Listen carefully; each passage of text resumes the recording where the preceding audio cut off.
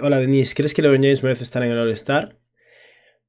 Eh, no, pero lo estará. O sea, por legado lo merece. Y no es legado y que sea un jugador que ahora mismo por media 10 puntos por partido y que ya no le da. Al final, por popularidad, por votos y por legado, LeBron James será All-Star este año, el que viene y hasta que se retire, probablemente. Igual que Kobe. Kobe sus últimos años no era un All-Star y lo seguía siendo uh, por votos, ¿no?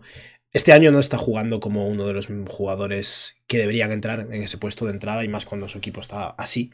De hecho, probablemente Anthony Davis debería entrar como forward antes que LeBron ahora mismo, porque a nivel defensivo hay una diferencia considerable, pero LeBron va a ser All-Star. Si está sano para el partido va a ser All-Star, eso seguro.